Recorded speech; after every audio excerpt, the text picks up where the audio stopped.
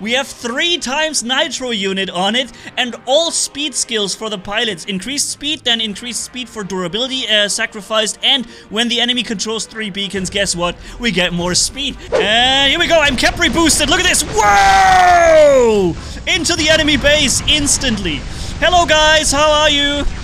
Now I lost the Khepri speed boost because I actually got way too far. Alright, I'm in the enemy base with a shield on their on their beacon now. Alright, here we are with the badass Devastators now. Let's start to fly. Uh, and, uh, whoa! Look at this speed, man. I can just come in, unload my Devastators on these guys for a second, and then just go. And I, then I can just go away again. Look at this.